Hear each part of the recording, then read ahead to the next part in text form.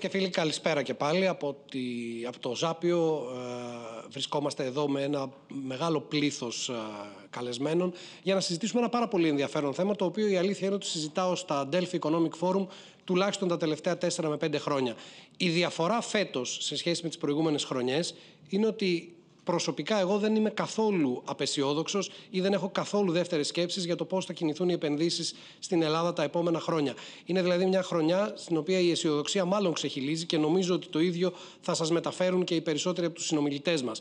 Κυρίως διότι η χώρα έχει αντιμετωπίσει τα πολύ μεγάλα προβλήματα και του χρέους, αλλά μάλλον και των κόκκινων δανείων. Άρα το τραπεζικό σύστημα και οι διεθνείς αγορές είναι έτοιμες να χρηματοδοτήσουν μια τέτοια ανάπτυξη. Αυτό που απομένει να κάνουμε είναι να δημιουργήσουμε τις ε, προποθέσει εκείνες, οι οποίες θα δώσουν τη δυνατότητα στους επενδυτές να έρθουν να φέρουν τα χρήματά τους εδώ και να αναπτύξουν πλήρως τις δραστηριότητέ τους τα επόμενα χρόνια. Θα κάνουμε αυτή τη μεγάλη συζήτηση για το πώς να ε, ας πούμε αναπηροδοτήσουμε τις ε, επενδύσεις με ένα πλήθος όπως σας είπα πολύ εξειδικευμένων ομιλητών Πρώτος από όλους, ο κύριος Άδωνης Γεωργιάδης, ο αρμόδιος Υπουργός Ανάπτυξης της ελληνικής κυβέρνησης. Καλησπέρα, κύριε Γεωργιάδη. Πέρα χρόνια πολλά, στο Ανέστη. Ο κύριος Νικός ε, Μπακατσέλος είναι πρόεδρος του Ελληνοαμερικανικού Επιμελητηρίου.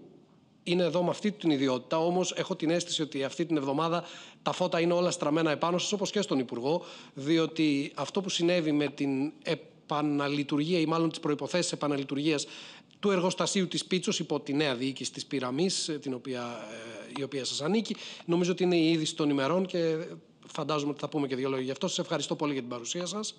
Εγώ σας ευχαριστώ πολύ. Ο κύριος Κωνσταντίνος Μαραγκός είναι πρόεδρος του Ελληνογερμανικού Επιμελητηρίου, παραδοσιακά ένας μεγάλος εταίρος των ελληνικών επενδύσεων. Πάρα πολλές γερμανικές επιχειρήσεις έχουν ε, δραστηριότητα στην Ελλάδα και πολύ μεγάλου μεγέθους. Καλησπέρα κύριε Μαραγκέ. Καλησπέρα σας. Ο κύριος Σπύρος Σπυρόπουλος είναι ε, σύμβουλος senior advisor της Oak Tree Capital Management ε, με πολύ μεγάλη δραστηριότητα επίσης πια στην Ελλάδα και μάλλον και από την Ελλάδα δραστηριότητα και σε άλλες χώρες πλέον από ό,τι καταλαβαίνω. Καλησπέρα και από μένα. Καλησπέρα λοιπόν. Ο κύριος Αντώνης ε, Αχιλεούδης είναι Group Managing Director της Αξία Ventures. Καλησπέρα κύριε Αχιλεούδη. Καλησπέρα. Θα συζητήσουμε μαζί προφανώς ε, και για τις προβλέψεις που κάνετε, τις οποίες διαβάζω τακτικά και είναι μάλλον υπερβολικά θετικές, δηλαδή κοντά σε αυτό που μόλις ε, προανέφερα. Σας ευχαριστώ πολύ που είστε εδώ. Ο κύριος Γιώργος Πολίτης είναι ο Διευθύνων Σύμβουλος της Europe Securities. Σας ευχαριστώ πολύ που είστε εδώ. Καλησπέρα και χρόνια πολλά από μένα. Θα χαιρετήσω τον έτερο προσκεκλημένο που βρίσκεται στην αίθουσα, τον κύριο Ιωάννη Αράπογλου. Είναι αναπληρωτής ε, διευθύνων σύμβουλος της Κοπελούζος Group. Καλησπέρα. Μεγάλη παρουσία και εσείς ε, και με φοβερές επενδύσεις τα τελευταία χρόνια. Και έχουμε και δύο ακόμα ομιλητές οι οποίοι βρίσκονται στα γραφεία τους. Βλέπετε ότι ο κορονοϊός προφανώς έχει αλλάξει λίγο τον τρόπο με τον οποίο έτσι γίνονται τα πάνελς. Ούτως ή άλλως θα ήμασταν στους Δελφούς αν δεν υπήρχε ο κορονοϊός. Έχουμε όμως μαζί μας την κυρία Κατερίνα Καρατζά, είναι managing partner της Καρατζάς ε, Partners. Μεγάλο γραφείο, μεγάλο δικηγορικό γραφείο. Καλησπέρα, κυρία Καρατζά. Καλησπέρα και από μένα. Τελευταίος, but not least, που θα λέγανε και στα χωριά μας, ο κύριος Ρικάρντο Λαμπύρης είναι ο διευθύνων σύμβουλος του ΤΑΙΠΕΔ, γνωστός έτσι κι αλλιώς ε, πολύ, γιατί τα τελευταία χρόνια έχει ε, αρκετά μεγάλη δράση. Καλησπέρα, κύριε Λαμπύρη. Καλησπέρα και από μένα. Θέλω να δώσω σε όλους σας το χρόνο να κάνετε μια εισαγωγική τοποθέτηση. Θα ήθελα απλώς να σας ενημερώσω ότι έχουμε ακόμα μία ώρα και δύο λεπτά, άρα θα παρακαλούσα για σύντομες τοποθετήσεις, ώστε να υπάρξει χρόνος στη συνέχεια για να ενθαρρύνω διάλογο μεταξύ σας, ώστε να συζητήσετε και πράγματα τα οποία πιθανόν να σας αφορούν. Θα δώσω καταρχήν το λόγο στον Υπουργό. Κύριε Γεωργιάδη, έχετε πέντε λεπτά. Καταρχάς, ευχαριστώ πάρα πολύ την πρόσκληση για άλλη μια φορά στο Οικονομικό Φόρουμ των Δελφών. Είναι πάντα μεγάλη τιμή να είμαι εδώ και σε μια ευνοϊκή συγκυρία. Και λέω ευνοϊκή, διαβάζω ακριβώς για να μην κάνω λάθος. Πριν από λίγο ανακοινώθηκαν οι αρινέ προβλέψεις της Ευρωπαϊκής Επιτροπής για την πορεία της ελληνικής οικονομίας στο επόμενο διάστημα. Από ύφεση μείον 8,2 το 2020 προβλέπουν συν 4,1 για το 2021 και συν 6% για το 2022. Εφόσον αυτές οι προβλέψεις επιβεβαιωθούν και θα δουλέψουμε πάρα πολύ σκληρά, όχι για να επιβεβαιωθούν απλώς, αλλά για να τις ξεπεράσουμε, θα να θυμίσω εδώ απλώς παρενθετικά ότι πέρσι, τέτοια εποχή, οι αρνές προβλέψεις της ε, Επιτροπής ήταν ότι η Ελλάδα θα είχε τη μεγαλύτερη ύφεση στην Ευρωζώνη διψήφιο αριθμό και κάθε καινούργια πρόβλεψη πήγαινε σε, μια ευνοϊ... σε ένα ευνοϊκότερο σενάριο την ελληνική οικονομία, σε μια καλύτερη τελικά πρόβλεψη και οι καλύτεροι πρόσωποι που φτάσανε ήταν χειρότεροι από αυτό που τελικώς είχαμε ως αποτέλεσμα α, στο τέλος της χρονιάς. Άρα έχουμε κάθε λόγο να πιστεύουμε ότι αν δουλέσουμε με εργατικότητα και αποφασιστικότητα στους ρυθμούς που το κάνουμε και με την διαδρομή που έχουμε ακολουθήσει θα πετύχουμε και ακόμα καλύτερους ρυθμούς ανάπτυξης για φέτος και ιδιαίτερα για του χρόνου. Και μια και αναφερθήκατε στον κύριο Μπακατσέλο, η περίπτωση του, α, της συμφωνίας μεταξύ της BSH και της Πυραμίδος για την εξαγορά της, α, των μηχανημάτων ώστε να γίνει εφικτή άμεσα μια εγκατάσταση γραμμής παραγωγής όπου πλέον υπό την υπονομία της Πυραμίδος θα παράγει τα σχετικά μηχανήματα, έχει μεγάλη σημασία για μας όχι για το ύψος της επένδυσης, το οποίο είναι σχετικά μικρό, αλλά γιατί είναι μια έμπρακτη απόδειξη ότι η Ελλάδα μπορεί να αντιμετωπίσει την αποβιομηχάνηση που είχε βιώσει τα τελευταία χρόνια και να αντιστρέψει σιγά σιγά αυτή την πορεία. Ένας από τους κεντρικούς στόχους του Υπουργείου Ανάπτυξης και Επενδύσεων δεν είναι μόνο η πρόοδό μας σε τομείς που παραδοσιακά πηγαίνουμε καλά, όπως παραδείγματο χάρη ο τουρισμός, αλλά θέλουμε να δώσουμε και ένα ισχυρό μήνυμα ότι η Ελλάδα μπορεί να αποκτήσει βιομηχανική παραγωγή, ίσως όχι να γίνει φυσικά η πρώτη ευρωπαϊκή βιομηχανική δύναμη, αλλά όχι τελείως ασήμαντη όπως είμαστε τώρα. Θυμίζω ότι στο όχι πολύ μακρινό μας παρελθόν η Ελλάδα είχε μια πολύ αξιοπρεπή βιομηχανική παραγωγή. Να κάνουμε παρένθετη ερώτηση. Δουλεύουμε. Πώς πείσατε τον κύριο Μπακατσέλο ότι εκεί που θα επιλέξει να πάει το εργοστάσιό του δεν θα εμφανιστεί ένας καινούριος δήμαρχος, ο οποίος θα πει έξω οι βιομηχανίες από την περιοχή μου, φύγετε σας παρακαλώ. Καταρχά δεν πείσαμε τον κύριο Μπακατσέλο. Ο κύριος Μπακατσέλο ήθελε να κάνει την επένδυση διακαώς. Τον ευχαριστώ πολύ γι' αυτό. Φαντάζομαι σας ρώτησε όμως. Η παρέμβαση ήμασταν περισσότερο προς τη γερμανική πλευρά της BSH για να πιστεί να κάνει την παραχώρηση της γραμμής. Για να με ειλικρινής, σας τον ευχαριστώ πολύ τον κύριο Μπακατσέλο. Ο κύριος Μπακατσέλος δραστηριοποιείται στην Ελλάδα και νομίζω ότι ξέρει, και αυτό είναι το μήνυμα που θέλω να πω, ότι και το λέω με μεγάλη γνώση και χωρίς κανένα ίχνος υπερβολής ρητορικής, ζούμε σε μια νέα Ελλάδα.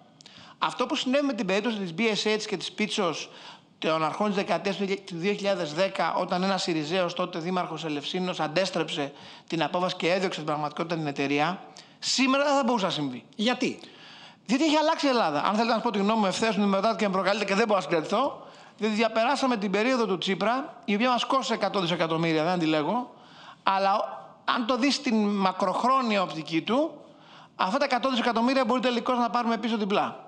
Διότι ε, το εμβόλιο κατά της αριστερής και ιδεολογικής ηγεμονίας που είχαν επί σειρά δεκαετιών και που έπιθαν τον κόμμα κατεβαίνει στον δρόμο κάθε φορά που λέγαμε ότι αυτό θα γίνει ιδιωτικό, ε, όταν λέγαμε ότι είμαστε με την Αμερική και τη Δύση, όταν λέγαμε ότι είμαστε με το Ισραήλ, όλα αυτά έχουν τελειώσει. Τώρα ξαφνικά έχουμε έναν ελληνικό λαό, αγαπητέ, και Ζαχαρέ, που δεν με ρωτάει πια όπως το 2014 γιατί προδότη Γεωργιάδη ξεπουλάς στο ελληνικό, γιατί αυτά μου λέγανε το 2014 όταν υπεστήριζαν την επένδυση στο ελληνικό, τώρα πια μου λένε στον δρόμο γιατί έχεις αργήσει και θα το έχεις δώσει γρηγορότερα. Η αλλαγή της χώρας είναι που έχει σημασία για τους επενδυτές. Δεν είναι ζήτημα απλώς αλλαγής πολιτικών συσχετισμών γιατί η πολιτική σχετισμή είναι κάτι που σήμερα είναι Α, αύριο μπορεί να είναι Β. Είναι μικρό το σημείο εμπιστοσύνης που μπορεί να δώσεις σε αυτό. Αυτό που έχει σημασία για του επενδυτέ να ξέρουν είναι ότι η Ελλάδα έχει αλλάξει. Η Ελλάδα πια μπορεί να συζητάει για ξένες επενδύσεις και να τις καλωσορίζει. Μπορεί να αντιδρά σε όποιον πάει να σταματήσει τις επενδύσεις ο ίδιος ο λαός όπω προηγουμένως στους δρόμους για τον άπαδο λόγο. Και το κυριότερο, και σε αυτό είμαι υπερήφανος για να μην καταχρώνω με τον χρόνο, Είμαστε μια κυβέρνηση που έχουμε έναν πρωθυπουργό που καταλαβαίνει από οικονομία και έχει φτιάξει μια ισχυρή ομάδα που το κύριο μας μέλημα είναι να βάλουμε μπρος την ελληνική οικονομία. Και δεν διστάζουμε γι' αυτό. Να ψηφίσουμε νόμου που μειώνουν τη γραφειοκρατία, να αφαιρέσουμε αρμοδιότητες από το δημόσιο τομέα και την στον ιδιωτικό τομέα, να ψηφίσουμε νόμου που θα κάνουν πιο εύκολη την επένδυση των διαφόρων επενδυτών στην Ελλάδα, να επιταχύνουμε τις διαδικασίες αδειοδότησης, να λύσουμε δηλαδή προβλήματα τα οποία ήταν για πάρα πολλά χρόνια η κόκκινη σημαία που έλεγε σε κάθε επενδυτή πριν έρθει στην Ελλάδα, αν πας εκεί θα μπλέξεις. Εμάς το βασικό πνεύμα που θέλουμε να στείλουμε σε όλους, όχι μόνο τους ξένους επενδυτές και τους Έλληνες επενδυτές, όπως ο κ. Μπακατσέλος, σε κάθε πιθανό επενδυτή είναι ένα. Είμαστε εδώ, σεβόμαστε τα χρήματά σας και το χρόνο σας και θα κάνουμε ό,τι είναι δυνατόν για να γίνει η επένδυση πραγματικότητα και να κερδίσετε, με αυτό θα να κλείσω, να κερδίσετε από την επένδυσή σας. Όταν θα έρθει κάποιος εμάς θα πει πρέπει να κάνουμε αυτά γιατί μόνο με αυτά κερδίζω, για μας να μας πει κερδίζω δεν είναι κακό πράγμα, είναι καλό πράγμα. Διότι αν επενδύσει στην Ελλάδα και κερδίσει και βγεις στο εξωτερικό και πει πήγα και κέρδισα, μετά θα έρθουν 10 επενδυτές γιατί θα θέλουν και αυτοί να κερδίσουν. Αυτή λοιπόν η νέα Ελλάδα, το νέο πνεύμα, η νέα νοοτροπία, η νέα ενέργεια που έχει η κυβέρνησή μας, πιστεύω είναι που οδηγεί σε εξαιρετικά θετικές προβλέψεις της Επιτροπής των ξένων οίκων. Υπενθυμίζω ότι η Ελλάδα είναι και περήφανος γι' αυτό, ως μετέχον στο οικονομικό επιτελείο της χώρας. Είναι η μόνη χώρα που αναβαθμίστηκε εν μέσω πανδημίας από τις χώρες μέλη της Ευρωπαϊκής Ένωσης από το Standard Poor's και βεβαίως αυτό δεν είναι αποτέλεσμα τυχαίο, είναι αποτέλεσμα σκληρής και συλλογικής δουλειάς που έχουμε κάνει όλο αυτό το διάστημα. Και να πω κλείνοντας ότι πολλοί όσοι είναι εδώ σήμερα στο πάνελ και συμμετέχουν είναι άτομα του οποίου έχουμε δουλεύει σκληρά μαζί, δουλεύουμε μαζί για να λύνουμε εμπόδια και να δημιουργούμε νέες θέσεις εργασίας. Σας ευχαριστώ πολύ, Υπουργέ. Κύριε Μπακατσέλο, προφανώς ε, αναλώθηκε πολλή ώρα ε, από την ε, τοποθέτηση του Υπουργού για την επένδυσή σας. Δεν ξέρω αν θέλετε να πείτε κάτι γι' αυτό. Θα ήθελα όμως και τη δική σας τοποθέτηση. Έχετε τρία λεπτά, παρακαλώ. Ε, να πω πρώτα απ' όλα ότι είμαι ευγνώμων σε όλους όσοι έχουν ε, προσφέρει θετικά σχόλια για αυτή την, ε, την, την, επένδυση, την επένδυση, για τις ευχές που έχουμε λάβει. Είναι συγκλονιστικό για εμάς και δεσμευόμαστε ότι θα κάνουμε ό,τι είναι δυνατόν για να κάνουμε αυτή την ε, επένδυση μια επιτυχία. Περισσότερο, κύριε Υπουργέ, γιατί έχει τροχιοδεικτικό χαρακτήρα. Την πρώτη συσκευή που θα παράξετε με το brand της Πυραμίδος θα ήθελα να την αγοράσω και στα social media στα οποία ξέρετε κάποιο ταλέντο θα κάνω όσο μεγαλύτερη φασαρία μπορώ. Θέλει προσοχή να ξέρετε, διότι υπήρχε η Siemens πριν εκεί, οπότε Δεν μας πάντα υπάρχει ενδιαφέρει ένα καθόλου. φάκελο Siemens πάνω. Ξέρουν από- όλοι την τιμιότητά μας και εμείς πηγαίνουμε εκεί πέρα για να βοηθήσουμε μια ελληνική βιομηχανία να πάρει μπρος. Σας είπα, ήμασταν ερυθρία στα υπέρ των επενδύσεων.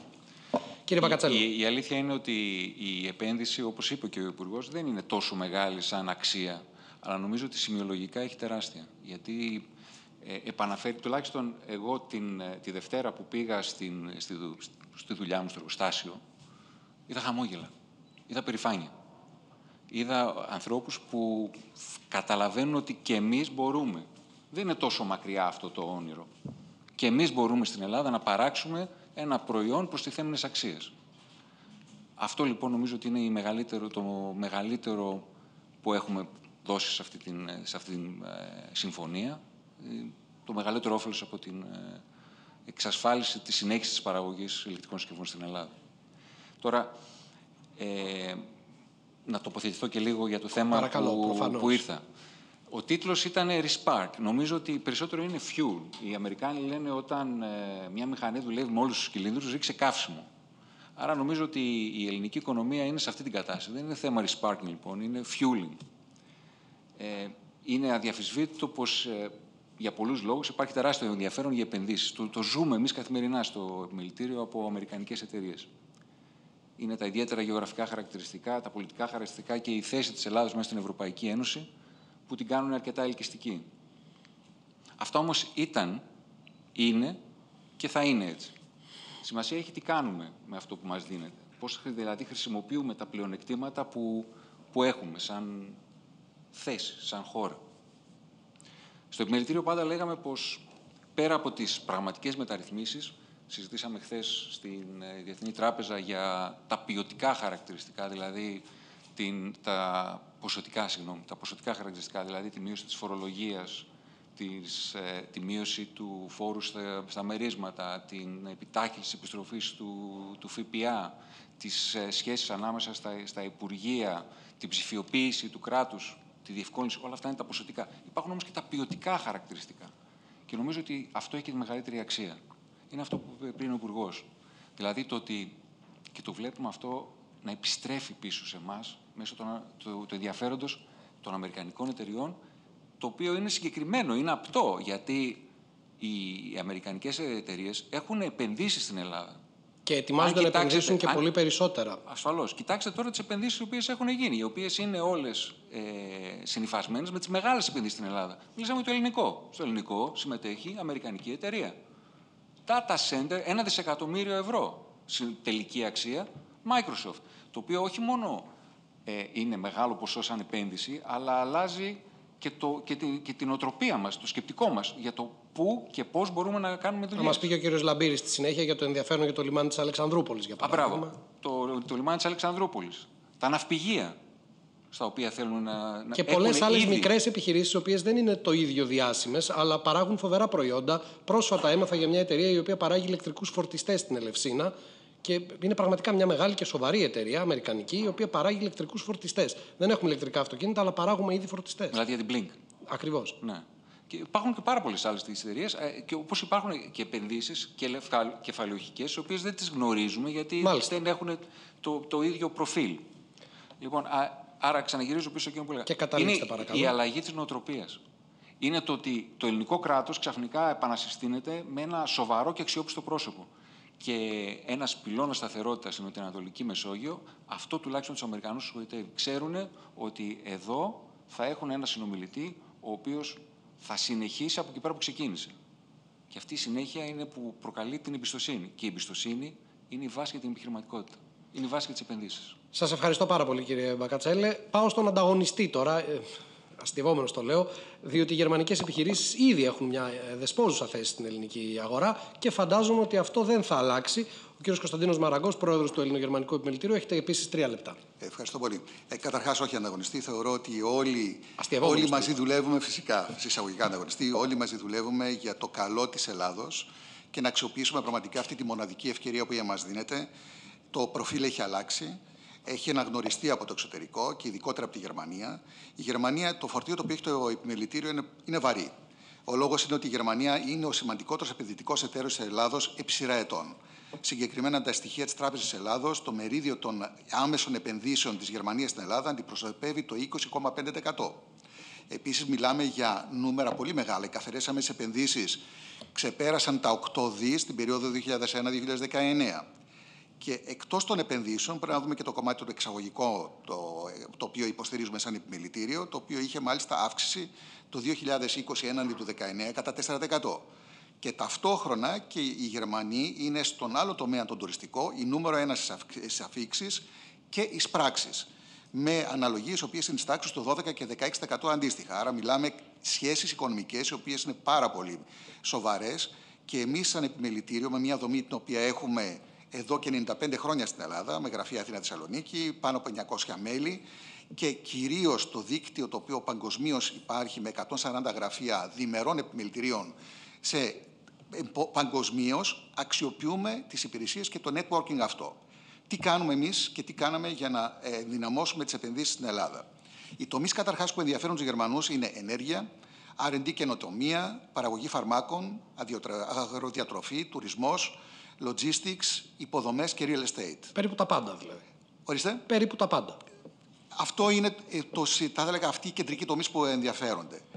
Εμείς ξεκινήσαμε με την ε, πρωτοβουλία η οποία ανέπτυξε ο Πρωθυπουργός μας με την καγκελάριο Άγγελα Μέρκελ και υλοποιήσαμε λίγο πριν τον COVID, τον Μάρτιο του 2020, με τη στενή συνεργασία και υποστήριξη του Υπουργού κ. Άδωνη Γεωργιάδη, ένα εξαιρετικά επιτυχημένο φόρουμ στο Βερολίνο, όπου ουσιαστικά επιβεβαιώθηκε ότι η Γερμανία πλέον εμπιστεύεται την Ελλάδα Μάλιστα. και έρχεται να κάνει νέες επενδύσεις. Σε επί σειρά, θα έλεγα, το, κατά τη διάρκεια του COVID, συνεχίσαμε να κάνουμε δράσεις με την Ελληνογερμανική ημέρα για την οικονομία, round tables τα οποία είχαν σχέση με καινοτομία στην υγεία, με την κυκλική οικονομία, με ελληνικό-γερμανικό φόρουμ τροφίμων, με επιχειρηματικές αποστελές, webinars κτλ.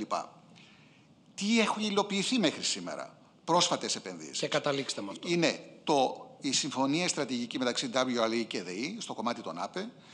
Είναι η υλοποίηση της, των επενδύσεων της Fraport στα ελληνικά αεροδρόμια. Μια νέα πλέον εικόνα. Την οποία έχουν το δει και οι πολίτες. Βεβαίως, το βλέπουμε πλέον. Ε, το τριετές επενδυτικό πλάνο της Lidl της τάξης των 350 εκατομμυρίων ευρώ.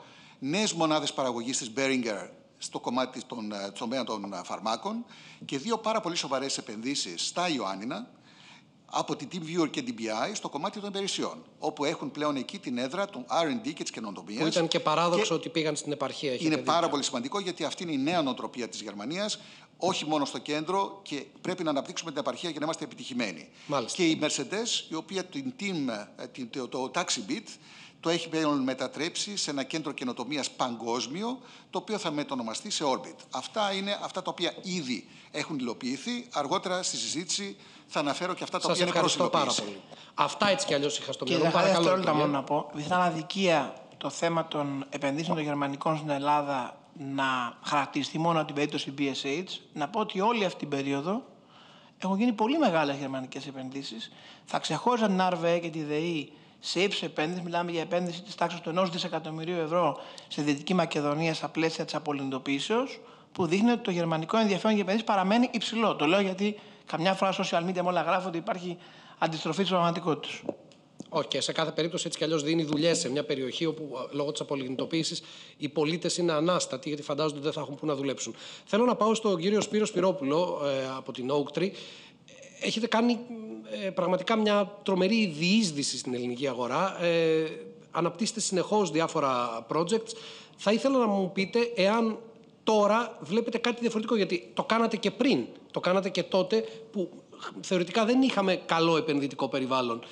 Θα αλλάξει κάτι, πρέπει να προσδοκούμε κάτι; Παρακαλώ, έχετε τρία λεπτά. Ευχαριστώ πολύ και αυτή ακριβώς είναι και η τοποθέτησή μου. Θα ήθελα να ξεκινήσω μια μικρή αναδρομή από αυτά που βλέπαμε ξεκινώντας από το 2012 όταν αρχίσαμε να επενδύουμε στην Ελλάδα και να τοποθετηθώ για το σήμερα και για το αύριο.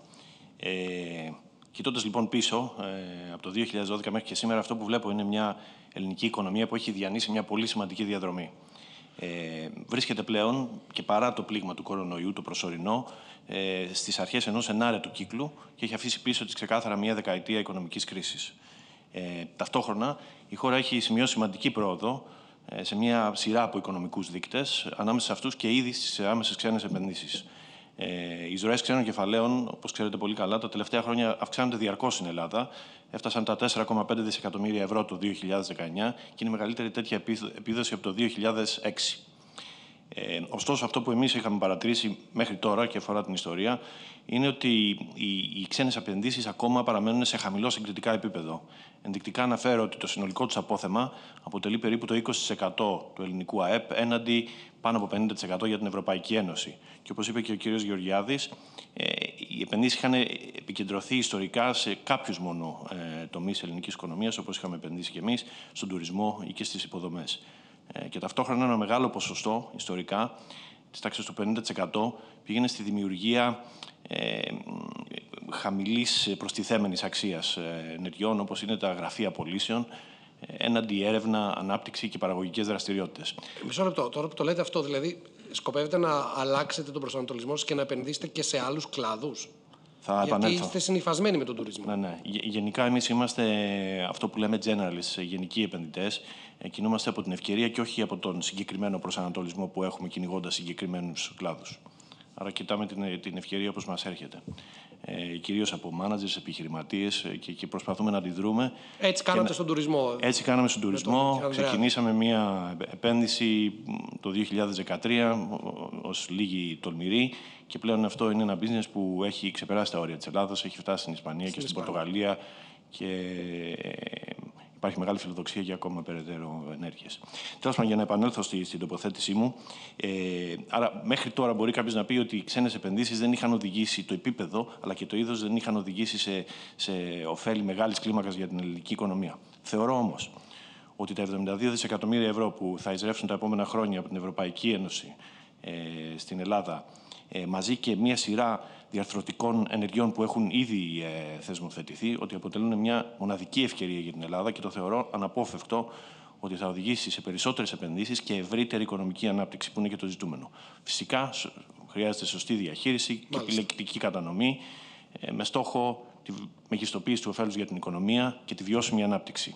Ενδεικτικά θα αναφέρω ότι πιστεύω ότι, όπως υπόθηκε ε, και από τους άλλους ομιλητές ότι η χώρα θα μπορούσε να, να, να, να επενδύσει περισσότερο και να προωθήσει τη, τη, τα κέντρα καινοτομίας, ε, εκμεταλλευόμενη το υψηλό ανθρώπινο, την υψηλή ποιότητας ανθρώπινο δυναμικό που διαθέτει ε, και εκμεταλλευόμενη κάποια πρόσφατα έργα από μεγάλες εταιρείες όπως η Microsoft, η Tesla ε, και η Pfizer που, που έχουν ήδη ξεκινήσει και δημιουργούν network effects για άλλες να, να, να ακολουθήσουν. Ε, θεωρώ ότι η χώρα επίσης διαθέτει μοναδικά πλεονεκτήματα, τα οποία πρέπει να εκμεταλλευτεί σε μια σειρά από τομεί, όπως είναι η εφοδιαστική αλυσίδα, τα τρόφιμα, η γεωργία, όπως συζητάγαμε και, και, και πριν την, την Ολυμπία.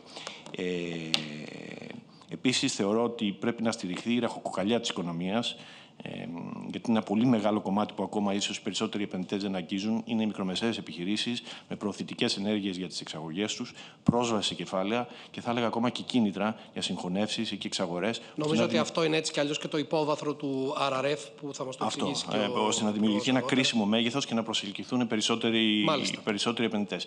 Τέλος, για τις τράπεζες, οι οποίες πραγματικά σε πολύ δύσκολες συνθήκες στηρίξαν την οικονομία, θέλω να πω ότι πρέπει πλέον να διευρυνθεί ακόμα περισσότερο η πρόσβαση σε κεφάλαια ε, σε περισσότερους κλάδους, περισσότερες επιχειρήσεις και στους πολίτες, γιατί η χρηματοδότηση ακόμα παραμένει ε, σε ακριβά επίπεδα και σε κόστος και σε όρους σε σχέση με την Ευρωπαϊκή Ένωση. Συνοψίζοντας, και ξέρω ότι ε, πρέπει να κλείσω, ε, ε, συνοψίζοντας, θεωρώ ότι η χώρα έχει διανύσει, έχει κάνει πολύ σημαντική πρόοδο και έχει μπροστά μια μεγάλη ευκαιρία για σημαντική ανάπτυξη. Εμείς επενδύουμε ακατάπαυσα από το 2012 πάνω από 500 εκατομμύρια ευρώ. Ε, έχουμε στις δύσκολες εποχές, όπως είπατε, έχουμε βοηθήσει να δημιουργηθούν χιλιάδες νέες θέσεις εργασίας και έχουμε, θεωρώ, ένα θετικό αποτύπωμα στο ελληνικό ΑΕΠ. Η διάθεσή μου για επενδύσεις από εδώ και πέρα είναι αμύωτη και ισχυρή. Επενδύσαμε στις δύσκολες εποχές και συνεχίζουμε να επενδύουμε τώρα που η κατάσταση έχει βελτιωθεί. Ε, ανυπομονώ προσωπικά να στηρίξουμε περισσότερες επιχειρήσεις και νέους μάνατζερ σε αυτό το νέο ενάρετο κύκλο της οικονομίας. Έτσι κι αλλιώς οι τράπεζες τις οποίες αναφέρατε. Κύριε Ζαχαρή, έχουν φέρει τόσα δισεκατομμύρια στην Ελλάδα. Δώσω δύο λεπτά ακόμα. Τα δίκαιο είναι τόσα δισεκατομμύρια. Δεν, δεν δίνω τα λεπτά ανάλογα με τα δισεκατομμύρια που φέραν. Σε άλλη περίπτωση θα έπρεπε να έχει μονοπολίσει το χρόνο να μιλάει μόνος του. Όχι, καθόλου. Πολύ Ευχαριστώ πολύ και είναι η τιμή μου που βρίσκομαι σήμερα εδώ ανάμεσα σε τόσους εκλεκτούς καλεσμένους. Ευχαριστώ πολύ. Σας ευχαριστώ εγώ πάρα πολύ. Θέλω να πάω στον κύριο Αχηλεούδη τώρα. Έχω την αίσθηση ότι εσείς θα έπρεπε να ήσασταν ο πρώτος που θα μας υποδείξετε τι γίνεται, διότι το χρηματιστήριο είναι ένας πολύ πρόδρομος τρόπος για να δει κανείς τα μελούμενα, τι θα συμβεί, φαντάζομαι μαζί με τον κύριο Πολίτη. Όμως υπήρξε ένα περίεργο, πάρα πολύ περίεργο ε, σκηνικό που διαμορφώθηκε στο χρηματιστήριο. Την ώρα που είχαμε πραγματικά τεράστια άνοδο, και θέλω να μας το εξηγήσετε αυτό, οι περισσότεροι άνθρωποι δεν κοιτούσαν προς το χρηματιστήριο. Αντίθετα, όταν είχαμε τις τεράστιες πτώσεις, όλοι ασχολούνταν με το χρηματιστήριο. Πώς το εξηγείτε αυτό; Γιατί είχαμε τεράστια άνοδο τους τελευταίους μήνες, ειδικά σε επιχειρήσεις. Ανέφερε τη ΔΕΗ ο Υπουργός, έχει πάει 8 φορές πάνω η μετοχή. Η αναφορά όσον αφορά ε, ότι κανένας δεν βλέπει το χρηματιστήριο, δεν είμαι σίγουρος σε ποιους αναφέρεστε. Απλώς ε, το χρηματιστήριο αυτή τη στιγμή είναι πάρα πολύ μικρό. Το market capitalization έχει μειωθεί. Ε, οι τράπεζες είναι βασικά components ας πούμε, του χρηματιστηρίου. Ε, και αυτή τη στιγμή ξαναζωντανεύουν προπάνω μετά την αύξηση της πυριός που ήταν ένα critical ε, event ας πούμε, για ξένους επενδυτές. Που Αβίαστα κιόλας. Ναι. Τώρα, εγώ θα ήθελα να τοποθετηθώ λίγο ε, περισσότερο στο, στο τι γίνεται αυτό το transformation της Ελλάδας, που βασικά νομίζω όλοι έχουν μιλήσει, αλλά και ο κύριος Γεωργιάδης ε, βασικά έχει μιλήσει για μια καινούργια Ελλάδα, που βασικά η απόδειξη ότι αυτό είναι αλήθεια είναι ότι η Γερμανία εμπιστεύεται την Ελλάδα. Αυτό που ακούσαμε τώρα πριν λίγο με αυτή την εμπιστοσύνη έρχονται επενδυτές, στρατηγικοί και θεσμικοί, ε, που βασικά αυτό σημαίνει ότι ε, για πρώτη φορά έχουμε, για παράδειγμα, η Oak Tree του κυρίου Σπυρόπουλου, ε, επένδυσε σε κλάδους όπως είναι ξενοδοχεία, τουρισμός, νοσοκομεία, που βασικά ήταν τα πιο προβληματικά. Δηλαδή και με πολλά δάνεια, αλλά δεν ήταν μια επιχείρηση που ήταν πολύ μικρή. Αυτή τη στιγμή γίνεται πιο θεσμική, πιο institutionalized, με κεφάλαια που μπορούν πραγματικά να κάνουν διαφορά. Δηλαδή να δημιουργήσεις ένα globally competitive sector στην Ελλάδα. Άρα η Ελλάδα δεν είναι μόνο για τον ήλιο, τα φρούτα της και τις αιγαίες, αλλά έχουμε επιτέλους σε mainstream ας πούμε industries ε, με κεφάλαια και σωστό management και governance ε, την ευκαιρία να γίνουμε pioneers globally. Ε, στον τουρισμό, για παράδειγμα, μία από τις εταιρείες που είναι επενδυμένη η Oaktree, ε, όπως είπατε εσείς, κύριε Ζαχάρο, ε, επενδύει αυτή τη στιγμή στην Ισπανία, στην Πορτογαλία και σε άλλες χώρες της Ευρώπης. Ε, αυτό είναι πάρα πολύ σημαντικό. Άρα υπάρχουν οι θεσμικοί και οι στρατηγικοί επενδυτές όπως είναι η Pfizer, η Microsoft που έρχονται στη χώρα που φέρνουν liquidity και είναι αυτό που χρειάζεται.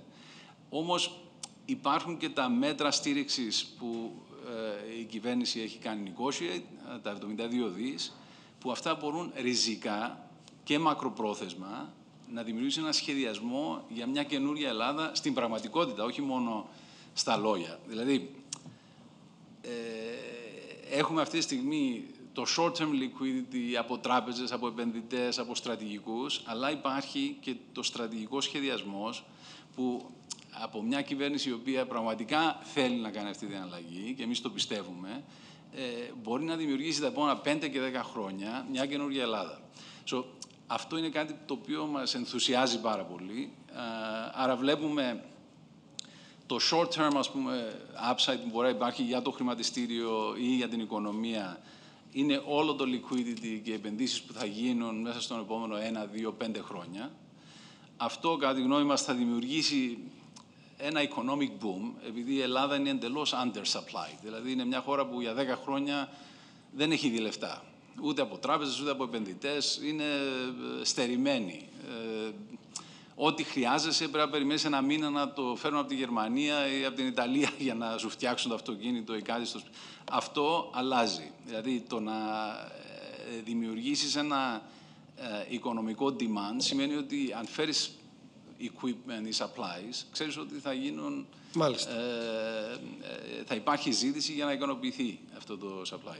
So, το τι βλέπουμε αυτή τη στιγμή είναι ένα economic boom που μπορεί να είναι και double digit, δηλαδή από τον Ιούνιο φέτος μέχρι τον Ιούνιο του χρόνου πιστεύουμε ότι θα δούμε την οικονομία να καλπάζει ε, και για πρώτη φορά εδώ και πάρα πολύ καιρό είναι πολύ fundamental οι λόγοι που θα γίνει αυτό το πράγμα και πιστεύουμε ότι θα είναι sustainable. Θα μου επιτρέψετε να πάω κατευθείαν στον κύριο Γιώργο Πολίτη από την Eurox. Ε, ε, κύριε Αράπογλου, θα σας κρατήσω για το τέλος, γιατί έχω την αίσθηση ότι όλοι θέλουν να μιλήσουν για το θέμα που θα μιλήσετε, που φαντάζομαι ότι θα είναι ε, κάτι που σχετίζεται με την ενέργεια. Κύριε Πολίτη, ε, η δική σας εικόνα και μέσω του χρηματιστηρίου που είναι ένα πρόδρομο δείγμα του τι γίνεται, αλλά και μέσω των επενδυτών με τους οποίους μιλάτε, συμπίπτει με αυτό που ακούσατε; Ε, ναι. Επειδή με κάλυψαν σε πολύ μεγάλο βαθμό Είμαι οι, οι προαλήσατες, ε, εγώ θα σταθώ στο ότι το χρηματιστήριο ουσιαστικά αντικατοπτρίζει ουσιαστικά τα μελλοντικά κέρδη που θα υπάρχουν σε επιχειρήσεις ε, και όλα αυτά το υπέδαφος που έχει προετοιμαστεί και θα δώσω με πολύ μεγάλη σημασία αυτό που είπε ο κ. Γεωργιάδης ότι ε, έχει γίνει πολύ σκληρή δουλειά ώστε να αλλάξει η νοοτροπία. Η κυβέρνηση θεωρώ έχει δουλέψει ε, με μεγάλη επιμέλεια ε, ώστε να δημιουργήσει αυτό το credibility ώστε ο ξένος επενδυτής να έρθει στην Ελλάδα και να αισθάνεται πλέον ασφαλής. Δεν είναι μόνο το κέρδος, είναι και όλη η γραφειοκρατία ουσιαστικά που συνεπάγεται και βλέπουμε μια προσπάθεια ώστε οι ξένοι επενδυτές να αισθάνονται ε, σε ίδιο playing field όπως είναι στο εξωτερικό, που μέχρι το πρώτο δεν υπήρχε. Βλέπουμε επίσης μια άνευ προηγούμενο ρευστότητα που υπάρχει διεθνώς. Ε, και θα έλεγα πως το timing της ανάκαμψης της Ελλάδος αυτή τη στιγμή μας φέρνει σε μια πολύ ε, καλή θέση ώστε να μπορούμε να αξιοποιήσουμε αυτή τη ρευστότητα. Όλοι ψάχνουν ε, αποδόσεις. Αλήθεια είναι αυτό και βλέπουμε και τα χρηματιστήρια διεθνώς ότι αυτή η ρευστότητα ουσιαστικά διοχετεύεται προς τα εκεί.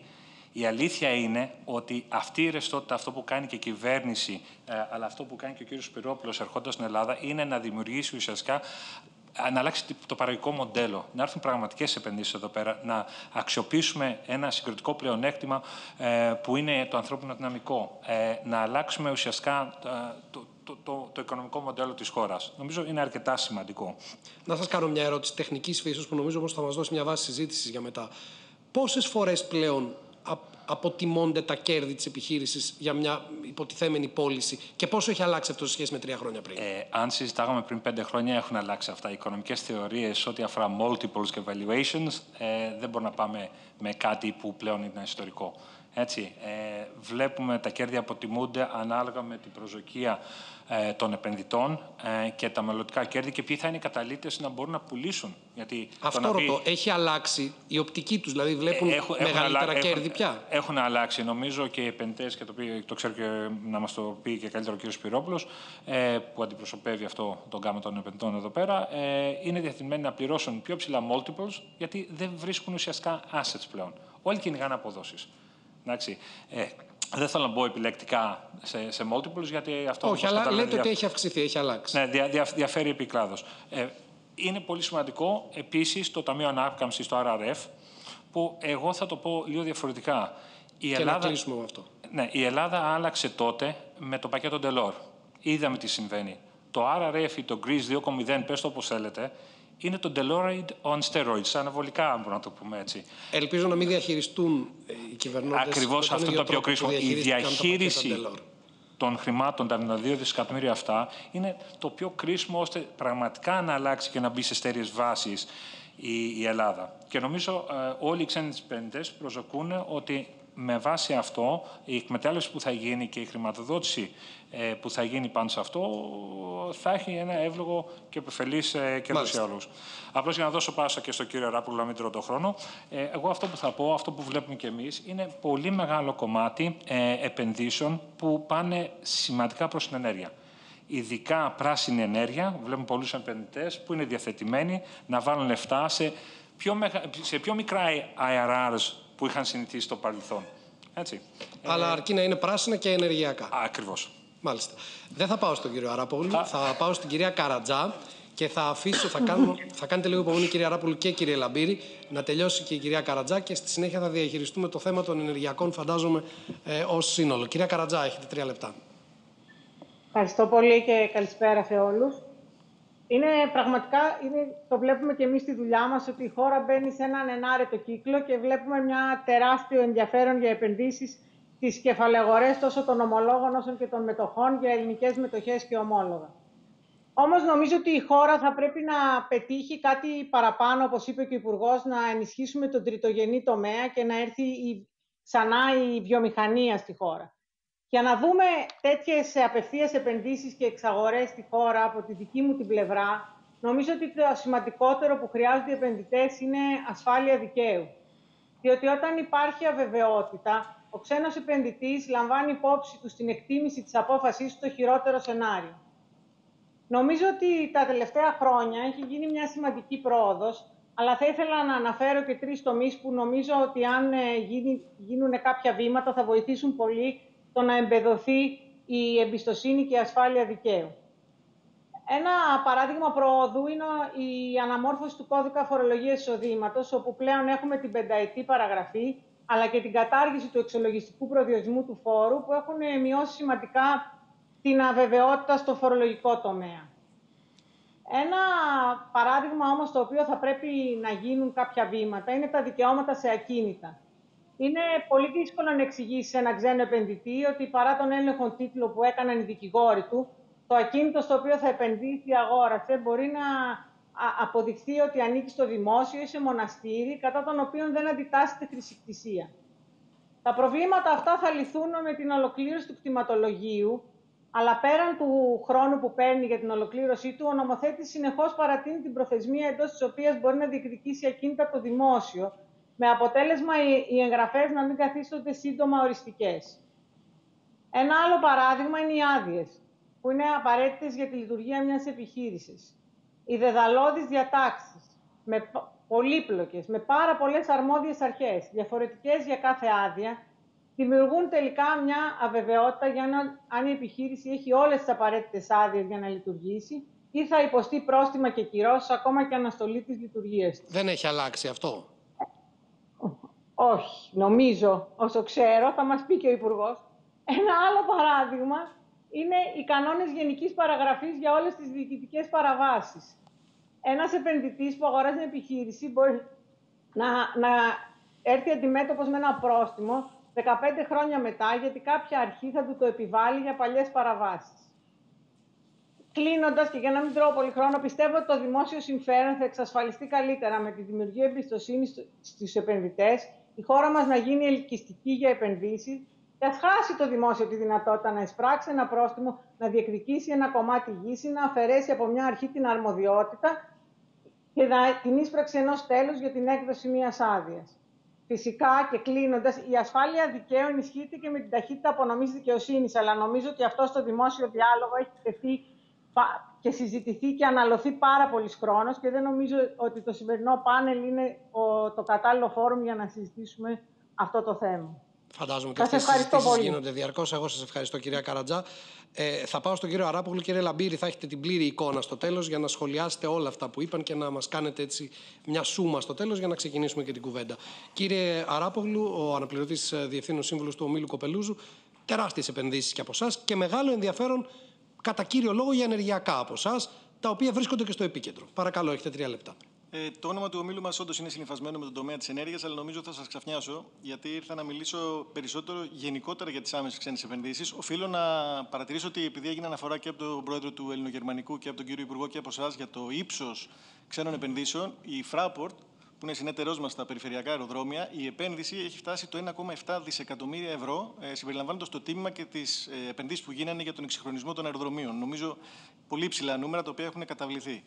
Ε, όσον αφορά τις άμεσες ξένες επενδύσεις, θέλω να παρατήσω ότι η χώρα μας γενικά, δεν είναι καινούριο αυτό, ε, παραδοσιακά υστερεί στις άμεσες ξένες επενδύσεις. Μπορεί να το δει κανείς πολύ εύκολα αυτό, άμα δει τους μέσους όρους.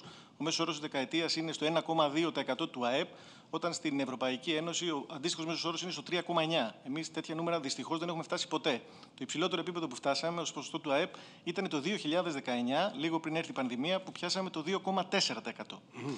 Ε, Επίσης θέλω να πω ότι αυτό που εμείς βιώνουμε και το μήνυμα που μας δίνουν και οι διεθνείς ε, συνεταίροι μας, οι οποίοι είναι και πολλοί και μάλιστα από πολλούς διαφορετικούς κλάδους, συνάδει εντελώς με τα ευρήματα των ειδικών, δηλαδή της Παγκόσμιας Τράπεζας και της Ευρωπαϊκής Επιτροπής. Οι οποίοι τι λένε στην έκθεσή τους, ότι αυτό που ζητάνε οι ξένοι επενδυτές, και βέβαια και ο κύριος Πυρόπουλος ε, καθήλυνα αρμόδιος να μας το επιβεβαιώσει, είναι σταθερότητα στο πολιτικό, νομικό, ρυθμιστικό και φορολογικό περιβάλλον, ικανό ανθρώπινο δυναμικό, σωστές υποδομές και πρόσβαση σε τοπική χρηματοδότηση. Η Ελλάδα δεν σκοράρει πολύ καλά. Overall είναι στο νούμερο 72, νομίζω, σε 190 χώρες. Είχε γίνει... πρόβλημα με τη χρηματοδότηση και με τα ρυθμιστικά. Ναι, ναι, είχε διάφορα, διάφορα θέματα, κυρίως με τα ρυθμιστικά και τα αδειοδοτικά, το πόσο χρόνο δηλαδή χρειάζεται να ολοκληρωθεί η αδειοδοτική διαδικασία. Γίνονται όμως σημαντικά βήματα βελτίωσης. Έχουν γίνει βελτιώσεις και στο κομμάτι της ε, προάσπισης των συμφερόντων των μετόχων μειοψηφίας και στο φορολογικό και στο κομμάτι ε, ίδρυσης νέων επιχειρήσεων κλπ. Χρειάζεται να γίνουν και πολλά άλλα. Το τι πρέπει να γίνει, νομίζω, είναι λίγο πολύ απλώς σαν ιδέα. Δηλαδή, πρέπει να εφαρμόσουμε και να διατηρήσουμε σαν χώρα πολιτικές που βελτιώνουν αυτούς τους παράγοντες που εκτιμάνε όλοι οι επενδυτές και ιδιαίτερα οι ξένοι επενδυτές, να επιδιώξουμε σταθερότητα, να, δώσουμε, να προσπαθήσουμε να πλουστεύσουμε τις διαδικασίες, να επισπεύσουμε τις αδειοδοτήσεις, να επικεντρωθούμε σε, ε, σε τομείς που έχουν και ευρύτερο ενδιαφέρον. Νομίζω πολύ καλά κάνουμε σαν χώρα και επικεντρωνόμαστε στις υποδομές. Ε, και τέλος, να κάνουμε και σωστή διαχείριση των διαθέσιμων πόρων, γιατί η αλήθεια είναι ότι οι επαγγελματίες επενδυτές, ακόμα και αν δουν ένα προσωρινό θετικό μέτρο, αν βλέπουν ότι δεν γίνεται σωστή ορθολογική διαχείριση των πόρων, καταλαβαίνουν ότι στην πορεία, σε λίγα χρόνια, αυτά τα μέτρα μπορεί να αρθούν, γιατί έτσι θα επιβάλλει η δημοσιονομική ε, κατάσταση. Οφείλω να τονίσω ότι είμαι ε, προσωπικά και σαν όμιλος αισιόδοξη. Ε, αισιόδοξη γιατί ενώ το 2020 λόγω της πανδημίας φτάσαμε σε επίπεδα ΕΠ στα 165 περίπου δισεκατομμύρια ευρώ που είχαμε να δούμε από το 2002, δηλαδή 18 χρόνια πίσω, ε, και μάλιστα με μικρό μείγμα επενδύσεων. Οι επενδύσεις στο σύνολο ήταν στο 11%, όταν προ 20 ετία ήταν πολλαπλάσια, διπλά, υπερδιπλάσια τα ποσοστά. Ε, είμαστε μπροστά σε μια πάρα πολύ θετική συγκυρία. Και βέβαια έχει να κάνει και με την πολιτική θέληση και βούληση είναι το Ταμείο Ανάκαμψης, που με χαροποιεί ιδιαίτερα το γεγονός ότι έχει στραφεί στην πράσινη ανάπτυξη που συζητήθηκε, στην ψηφιακή μετάβαση, στην ε, κοινωνική συνοχή, στις δεξιότητες, στο ανθρώπινο δυναμικό βέβαια. Και έχει συγκεκριμένο σχέδιο, αλλά και πολύ σαφή στόχο να κινητοποιήσει και πρόσθετους πόρους. Νομίζω αυτό είναι το μυστικό. Να κινητοποιηθούν πρόσθετοι πόροι, οι οποίοι, αν κάποιος κάτσει και τα υπολογίσει όλα, ε, Ταμείο Ανάκαμψης, συν πρόσθετη πόρη, συν το ΕΣΠΑ, συν ακόμα και η κοινή αγροτική πολιτική, αθρίζουν νούμερα πάνω από 100 δισεκατομμύρια ευρώ, τα οποία είναι χρυσή ευκαιρία και χρέος μας, νομίζω, ε, να τα εκμεταλλευτούμε με τον καλύτερο δυνατό τρόπο. Περισσότερο από το μισό του ΑΕΠ. Θα καταλήξω τον κύκλο αυτό της συζήτησης, αλλά θα σας πω με τον κύριο Λαμπύρη, αλλά θα σας πω τι θα ήθελα να κάνουμε αμέσως μετά. Έχουμε εδώ έναν άνθρωπο ο οποίος απαντάει πραγματικά στα πάντα και θα ήθελα να σας κάνω να, να κάνουμε μια πρόκληση. Σκεφτείτε ο καθένας από εσάς ένα θέμα το οποίο θεωρείτε ότι δεν έχει λυθεί και είμαι σίγουρος θα πάρετε την απάντησή σας Πάμε όμως στον κύριο Λαμπύρη να μας συνοψίσει όλα αυτά, διότι και στα, και στα αεροδρόμια με τη Fraport μετέχει και στα ενεργειακά μετέχει και παρεπιπτόντως είναι και ο άνθρωπος ο οποίος, από ό,τι καταλαβαίνω, ή τουλάχιστον το Ταμείο σίγουρα, ε, θα αναλάβει στο επόμενο διάστημα, όπου υπάρχουν παθογένειες και καθυστερεί ο δημόσιος μηχανισμός, να έρχεται εναλλακτικά το ΤΑΙΠΕΔ και να το σαρώνει. Κύριε Λαμπύρη, έχετε τρία λεπτά. Σας ευχαριστώ. Λοιπόν, νομίζω με ρωτήσετε πριν για την Αλεξανδρούπολη. Ε, οπότε θα πω ακριβώς αυτά που έλεγε ο κ. Μπακατσέλο. Υπάρχει πολύ μεγάλο ενδιαφέρον από Αμερικάνους και για την Αλεξανδρούπολη και για την Καβάλα. Ε, η διαφορά είναι ότι πλέον έρχονται όχι μόνο ε, Αμερικάνοι που συνδέονται με την Ελλάδα, αλλά και πραγματικά Αμερικάνοι που δεν έχουν καμία σχέση με την Ελλάδα. Οπότε έχει γίνει τρομερή αλλαγή. Αυτό έχει να κάνει όμως και με άλλες χώρες. Δεν είναι μόνο οι Αμερικάνοι. Ε, ενδεικτικά από πολλές ε, γεωγραφίες Ενδεικτικά, επίσης, θέλω να πω ότι η Γερμανία, σαν χώρα, έχει, ίσως είναι ο μεγαλύτερος επενδυτής. Είπαμε για τη Fraport, μην ξεχνάμε τον ΟΤΕ και τις ε, πιο πρόσφατες επενδύσεις, ε, οι προηγούμενοι συνολητέ. Θα σταθώ όμως επίσης ξανά στον κύριο Μπακατσέλο, γιατί είπε ότι η μεγάλη, όπως λένε οι Αμερικάνοι, είναι to fuel the economy, να δώσουμε το, το καύσιμο. Και εδώ νομίζω με το RRF μας δίνεται μια ιστορική, μοναδική ευκαιρία για δομικές μεταρρυθμίσεις. Νομίζω ο κύριος Πολίτης είπε ότι είναι το πακέτο Delors steroids. Για μένα όμως, αυτός ο δομικός μετασχηματισμός πρέπει να γίνει με βάση τις αρχές της κυκλική οικονομίας και της αεφορίας, τη ψηφιοποίηση της χώρας, τη στήριξη των υφιστάμενων αλλά και την ανάπτυξη νέων παραγωγικών κλάδων. Πολύ σημαντικό λοιπόν είναι να στηριχθούν και να εξυγχρονιστούν οι βασικοί πυλώνες της οικονομίας όπως ο τουρισμός, αλλά και να επενδύσουμε σε κλάδους υψηλή τεχνολογίας όπως ενδεικτικά παραγωγής επεξεργαστών, τεχνητής νοημοσύνης, αμυντικής βιομηχανίας. Πρέπει επίσης να επενδύσουμε στην έρευνα στο τομέα της αεφορία, με σκοπό όμως να συνδυαστεί με τη βιομηχανία. Και επίσης να βοηθήσουμε μέσω της τεχνολογίας τη ψηφιοποίηση και τη διαλειτουργικότητα των μεταφορών. Πολύ σημαντικό και αυτό για μένα. Πάντως πρέπει να πω ότι με χαροποιεί ιδιαίτερα ότι ήδη η χώρα προσανατολίζεται σε αυτούς τους άξονες, ώστε να μπορούμε να προσελκύσουμε αυτές τις ποιοτικές μακροχρόνιες επενδύσεις και να είμαστε ανταγωνιστικοί. Θα σταθώ όμως λίγο στη λέξη ανταγωνιστική, γιατί για μένα έχει πολύ μεγάλη ε, σημασία. Συνήθως, όταν μιλάμε για αυτή τη λέξη, επικεντρωνόμαστε σε δράσει και πρωτοβουλίες, προγράμματα και άλλα. Όμως, για να μπορέσουμε να είμαστε πραγματικά ανταγωνιστικοί, πρέπει να σπάσουμε τα δεσμά από νοοτροπίες του παρελθόντος και να αγκαλιάσουν αλλαγή. Ο, ο Λου Χόλτς, ένας ε, προπονητής του Αμερικάνικου ποδοσφαίρου, είπε: Οι ικανότητες είναι αυτό που είσαι ικανός να κάνεις. Τα κίνητρα καθορίζουν αυτό που κάνεις. Και η νοοτροπία καθορίζει πόσο καλά το κάνεις. Νομίζω έρχομαι στα λόγια του Υπουργού μας, ο οποίος είπε ότι πρέπει να έχουμε πάει ένα βήμα μπροστά ε, τα τελευταία χρόνια. Αρκετοί άλλοι συνομιλητές είπαν επίσης ότι έχει αλλάξει η χώρα και αυτό με χαροποιεί ιδιαίτερα. Και το βλέπω, ε, για να γυρίσω και στο κομμάτι σας που με ρωτήσατε για το τι γίνεται με τις ε, επενδύσεις γενικότερα, σε όλο το χαρτοφυλάκιο του ΤΑΙΠΕΔ υπάρχει πολύ μεγάλο ενδιαφέρον. Το βλέπω και στα κομμάτια του real estate, το βλέπω και στο flagship των γουρνών στο κομμάτι του real estate, το βλέπω και στις ενεργειακές επενδύσεις, όπου το ενδιαφέρον είναι από πολύ ποιοτικούς επενδυτές. Κλείνοντας, ε, σχετικά με την ε, ε, καινούρια πιθανή δραστηριότητα του ΤΑΙΠΕΔ, είναι ακόμα ε, πρόημο να σας πω παραπάνω. Ε, Όμως θα καλούμαστε να βοηθήσουμε, όπως θα μας υποδείξει η ελληνική κυβέρνηση, να βοηθήσουμε για την ανάπτυξη και την προορίμαση κάποιων ε, πιθανών έργων. Υπουργέ, πριν ε, περάσω στους συνομιλητές μας που φαντάζομαι ότι όλο και κάτι θα έχουν να προτείνουν ή να ρωτήσουν, έχουμε ένα ερώτημα το οποίο μου έχει προκύψει επειδή μιλώντας διαρκώς με ξένους επενδυτές, μου αναφέρουν ως βασικό πρόβλημα ένα. Δεν τους αφορά τόσο πολύ ούτε η φορολογία, ούτε το ρυθμιστικό, ούτε τίποτα από όλα αυτά. Το βασικό πρόβλημα, και θέλω να μου πείτε αν το αντιμετωπίζετε κι εσείς, είναι η καθυστέρηση στην απονομή της δικαιοσύνης. Οι άνθρωποι αυτοί δεν ξέρουν αν επενδύοντας εδώ θα βρεθεί ένας δήμαρχος Ελευσίνας, ένας Άδωνης Γεωργιάδης από την Ανάποδη, ο οποίος θα τους πει όχι. Θα βγάλω το λαό στους δρόμους, θα αλυσοδεθούμε πάνω στο αρχαίγωνο δάσος του ελληνικού και δεν πρόκειται ποτέ να κάνεις την επένδυση. Και αυτό καθυστερεί πάρα πολύ. Το έχετε υπόψη σας, θα κάνετε κάτι. Λοιπόν, καταρχάς να πω ότι χθες ήταν παρόν και ο κ. Μπακατσέλος, μπορείτε να βεβαιώσει, και ο κ. Μαρακό. Ε, είχαμε μία συζήτηση που κράτησε πάνω από δυόμιση ώρες μαζί με την Παγκόσμια Τράπεζα και την Ευρωπαϊκή Επιτροπή, την Digital Reform, με το οποίο συνεργαζόμαστε και παρουσιάσαμε και το τι έχει γίνει αυτό το 1,5 χρόνο σε ένα διακυβερνητικό σχέδιο στο οποίο προείσταμε εγώ ως Υπουργός Ανάπτυξης μαζί με τη Γενική Γραμματεία του κ. Πρωθυπουργού. Να πω ότι η Ελλάδα είναι στη 79. Ε, τώρα δεν βγαίνει νέο ranking για κάποιους εσωτερικούς λόγους Παγκόσμιας Τράπεζας, αλλά έχουμε ανέβει πάρα πολλές θέσεις από, από το 19 ε, και αυτό είπε και χθες η Παγκόσμια Τράπεζα. Έχει αναγνωρίσει την πολύ μεγάλη πρόοδο της χώρας.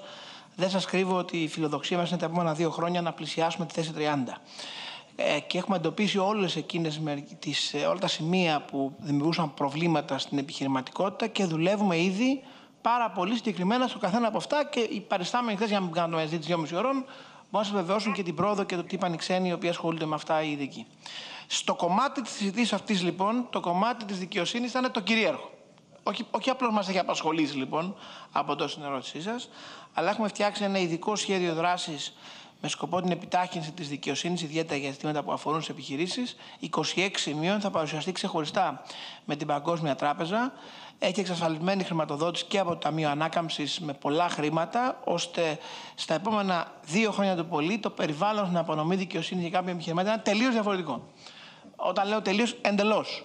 Ε, υπάρχουν εργαλεία που θα οδηγήσουν, παραδείγματος χάρη, στην εκαθάριση των πολλών αστικών υποθέσεων που καθυστερούν τα δικαστήρια, ψηφιοποίηση, δυνατότητα να κάνεις όλα ηλεκτρονικά και ούτω καθεξής, διαμεσολάβηση, τα οποία θα οδηγήσουν ε, σε μια πολύ μεγάλη επιτάχυνση. Άρα και μας απασχολεί αυτό που είπατε, το οποίο είναι αληθές, και δουλεύουμε για να το λύσουμε. Δεν μπορεί να λυθεί σε 24 ώρες.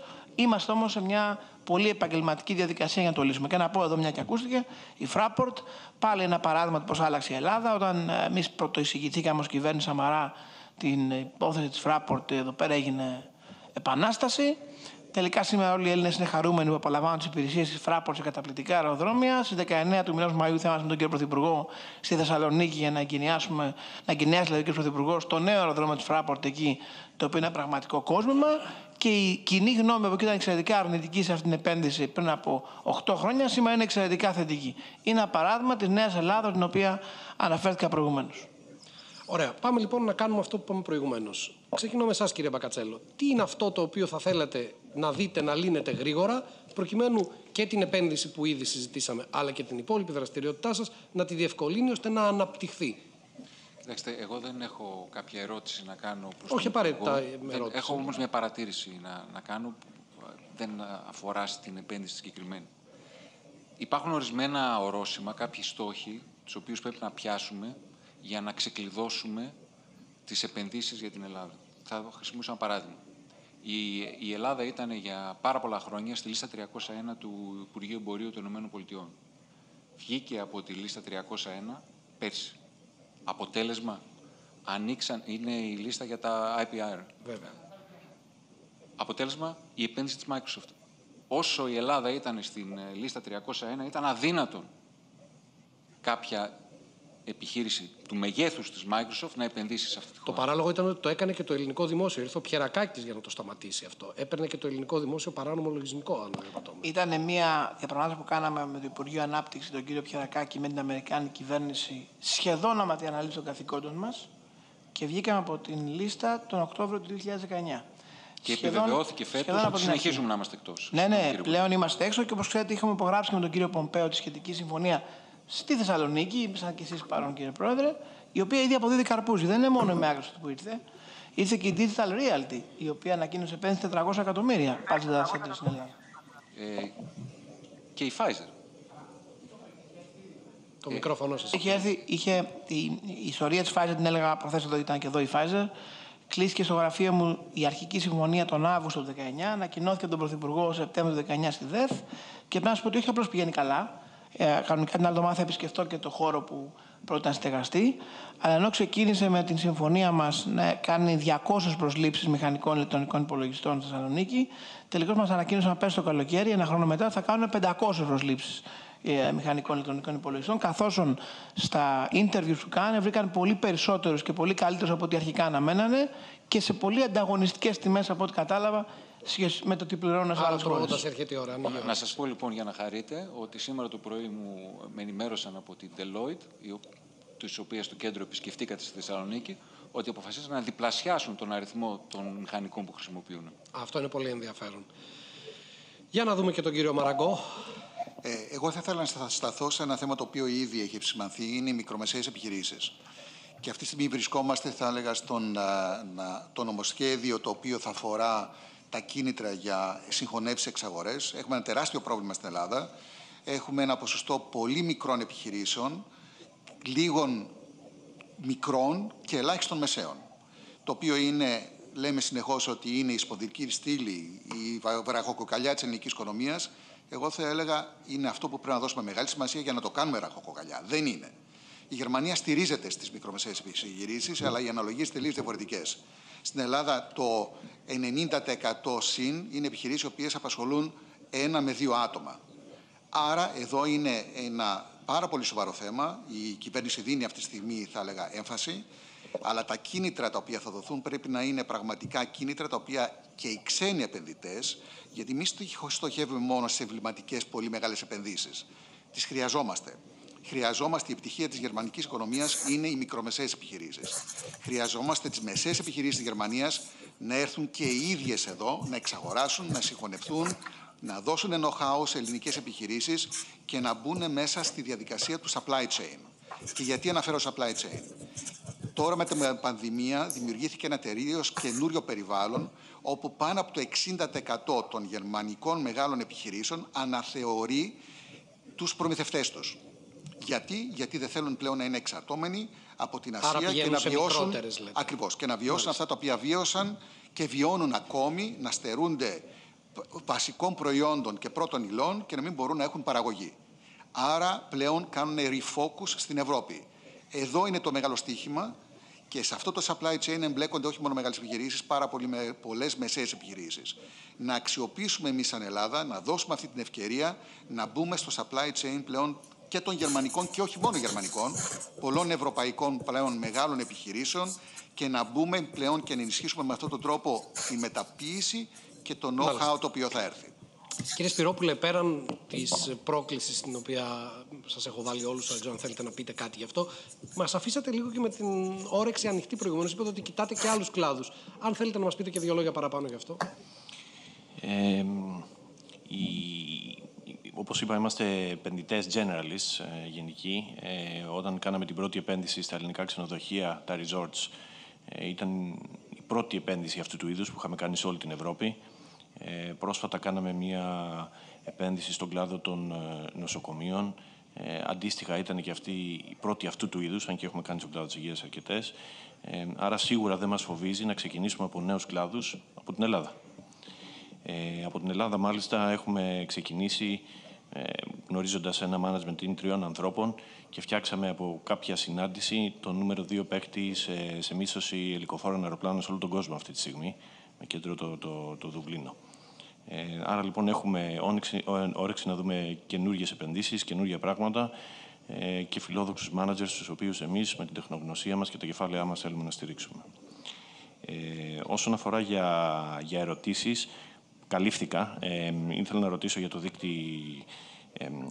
ευκολία επιχειρηματικής δραστηριότητας, ε, τον οποίο κάλυψε ήδη ο κύριος Γεωργιάδης, και απλά για τις μικρομεσαίες επιχειρήσεις να, να προσθέσω ότι πέρα από το γεγονός ότι πιστεύω ότι ως Έλληνας θα ήταν πολύ καλό για την Ελλάδα να βιομηχανιοποιήσουμε κατά κάποιο τρόπο να μεγαλώσουμε τις μικρομεσαίες επιχειρήσεις και από την πλευρά του επενδυτή θεωρώ ότι θα ανοίξει μια αγορά που αυτή τη στιγμή είναι κλειστή για του επενδυτέ, γιατί είναι πρακτικά πολύ μικρές και είναι πολύ, πολύ ε, έξω από το ραντάρ που μπορούμε να επενδύσουμε. Άρα αυτό πιστεύω ότι εν τέλει θα είναι και ένας πολλαπλασιαστής ανάπτυξης και άμεσων ξένων επενδύσεων για την Ελλάδα. Σας ευχαριστώ πολύ. Ε, κύριε Αχιλεούδη. Το μικρόφωνο παρακαλώ. Συγγνώμη. Ε, για να εστιάσω σε ένα-δύο μέρη που βασικά βλέπω ότι υπάρχει πρόβλημα με ξένους επενδυτές. Ε, ξέρω ότι έχει συζητηθεί ήδη. Ε, βλέπω την κυβέρνηση που βασικά προχωράει με ένα πολύ γρήγορο ρυθμό. Δηλαδή ο κύριος Γεωργιάδης βλέπει τον επενδυτή στα μάτια και του λέει θα βγάλεις πάρα πολλά λεφτά με αυτή την επένδυση και θα κάνω ό,τι μπορώ να σε βοηθήσω για να την κάνεις. Όχι, ε, ξέρεις, το τι ακούγαμε πριν. Όμως, όταν έρθει αυτός ο επενδυτής, κάνει αυτή την επένδυση, το τι βρίσκει στους Δήμους, στις τοπικές κυβερνήσεις, είναι μόνο εμπόδια και καθυστερήσεις. Το νομικό πλαίσιο δεν το προστατεύει απόλυτα. Βασικά, εκεί κολλάνε πάρα πολλά πράγματα. Νομίζω ότι απάντησε βέβαια ήδη ο Εντάξει, ναι, γι' αυτό λέω ότι έχει συζητηθεί. Απλώς... Και εκεί κάποια παρέμβαση κάνουμε, τα αφήνουμε και φυσικά. έχει γίνει και ε, πολλές φορές από την Γέρκυρα μέχρι τη Ρόδο έχουν γίνει διάφορες παρεμβάσεις. Ακριβώς. Ακριβώς. Απλώς σε ένα, σε ένα κράτος το οποίο ξέρεις, πρέπει να λειτουργεί κανονικά, δεν πρέπει ο κύριος Υπουργός ή ο, ο κύριος Πρωθυπουργός να, να επεμβαίνει για Είναι να γίνει προφανές, κάτι. αλλά είμαστε σε μια μεταβατική περίοδο προφανώς. So, νομίζω δεν λέω κάτι που δεν έχει συζητηθεί ήδη. Απλώς ήθελα να ε, κάνω emphasize αυτό το συγκεκριμένο point. Έχετε δίκιο. Κύριε Αράπογλου. Εγώ νομίζω εμέσως ρώτησα και έλαβα πολύ σαφή απάντηση. Ε, ο κ. Υπουργός ε, μου είπε ότι έχουν ήδη γίνει τα βήματα, έχει ήδη γίνει η αξιολόγηση και θα ανακοινωθεί και η βελτίωση της χώρας στο, στο γενικότερο πίνακα των χωρών και μάλιστα υπάρχει και σαφής στόχος, γιατί είναι πάρα πολύ σημαντικό να υπάρχουν σαφείς στόχοι για τη θέση νούμερο 30, δηλαδή τρομακτική βελτίωση. Εμείς από την πλευρά μας να πούμε ότι, όπως ανέφερε και ο κ. Πυρόπουλος, ε, επενδύσαμε στα δύσκολα, επενδύουμε τώρα και όσο τα πράγματα βελτιώνονται και οι προποθέσει για καλές επενδύσεις ε, βελτιώνονται, ε, θα συνεχίσουμε να επενδύουμε και με μεγαλύτερο ρυθμό. Μάλιστα. Θέλω να πάω σε εσάς, κύριε Πολίτη, και μετά θα πάω στους καλεσμένους μας που είναι από τα γραφεία τους για να διευκολύνω λίγο για τη συζήτηση. Παρακαλώ. Εγώ θα σταθώ σε αυτό που είπε ο κύριος Μαραγκός. Ε, θα έρθουν γερμανικές επιχειρήσεις, αμερικάνικες επιχειρήσεις ε, ουσιαστικά για να εξαγοράσουν ελληνικές ή να ε, συνεργαστούν με ελληνικές. Ε, αυτό είναι το πιο σημαντικό και δεν πρέπει να ξεχνάμε ότι έχει προηγηθεί μια άνευ προηγούμενη κρίση σε αυτή τη χώρα δεκαετές το οποίο έδωσε τη δυνατότητα οι επιχειρήσεις που επιβιώσανε έτσι να κάνουν ένα αρκετά σημαντικό balance sheet restructuring. Άρα θα έρθουν να βρουν επιχειρήσεις που είναι σε πολύ καλή κατάσταση πριν το COVID. Μπορώ να πω και σε καλύτερη κατάσταση από πολλές ομογενείς επιχειρήσεις ε, και στην Ευρώπη και στο εξωτερικό ή ευρύτερα. Το πιο σημαντικό είναι πώς μπορούμε να σπάσουμε τα δεσμά και ε, τις αγκυλώσει του παρελθόντος και το απάντησε ο κύριος Υπουργός σε ένα μεγάλο βαθμό, ε, ώστε ε, είτε δημόσιες υπηρεσίες λέγονται ή κρατικές επιχειρήσεις έτσι, που πρέπει να συμβληθούν ε, αυτές οι εταιρείες να μπορούν να προχωρήσουν σε αυτές τις επενδύσεις. Τίποτα άλλο. Μάλιστα. Κυρία Καρατζάν. Εγώ ε, να πω πάλι κάτι για το που αφορά το δικό μου το τομέα. Ένα πράγμα που σταματάει πολύ τα μεγάλα έργα είναι οι, οι αιτήσεις ακυρότητας και τα ασφαλιστικά μέτρα για τους περιβαλλοντικούς όρους στο Συμβούλιο της Επικρατείας. Το βλέπουμε πολύ συχνά. Θα πρότεινα δύο πράγματα. Η προθεσμία να ξεκινάει αυστηρά από τη δημοσίευση και όχι από τη γνώση, ώστε να υπάρχει ασφάλεια δικαίου ότι 60 μέρες μετά δεν θα υπάρχει καμία άλλη προσβολή. Και ένα άλλο είναι να μην μπορεί να προσβληθεί παρεπιπτόντως με οποιαδήποτε μεταγενέστερη πράξη. Έτσι λοιπόν δεν θα μπορούν πλέον να, να προσφεύγουν στα πολιτικά δικαστήρια για τα περιβαλλοντικά μέτρα που όπως ξέρετε έχουν ε, σταματήσει πάρα πολλά μεγάλα έργα. Και αν χάσεις μια προθεσμία ή αν δεν πας στο ΣΤΕ, να μην μπορείς να, επανα, επαναξιολογήσεις αυτή την απόφαση μέσω ενός πρωτοδίκη. Νομίζω ότι όλοι ξέρουν από τους παρευρισκόμενους στο πάνελ ότι οι αναστολές που γίνονται για περιβαλλοντικούς όρους και άλλους όρους έχουν σταματήσει και έχουν καθυστερήσει πάρα πολλά μεγάλα έργα και ένα τέτοιο, μια τέτοια αλλαγή στη δυνατότητα προσφυγής στη δικαιοσύνη θα επιταχύνει πάρα πολύ τα πράγματα και θα δημιουργήσει και αυτό που είπαμε, ασφάλεια δικαίου. Βλέπω ότι η δικαιοσύνη παίζει γενικώς.